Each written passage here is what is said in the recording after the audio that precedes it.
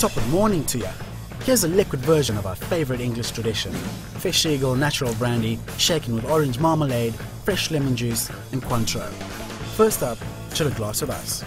Add a scoop of marmalade, double shot of Fish Eagle, mix it all up.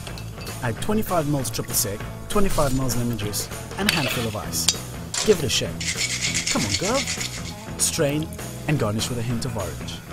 English breakfast ready to order.